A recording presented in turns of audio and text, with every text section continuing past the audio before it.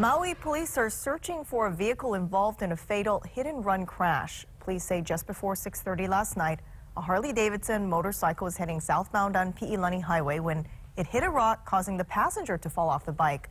A vehicle then hit the passenger and didn't stop. The passenger, identified as 45-year-old Stacy Jackson of Kihei, died. If you have any information that can help investigators with this case, call Officer Aaron Williams at 244 6365.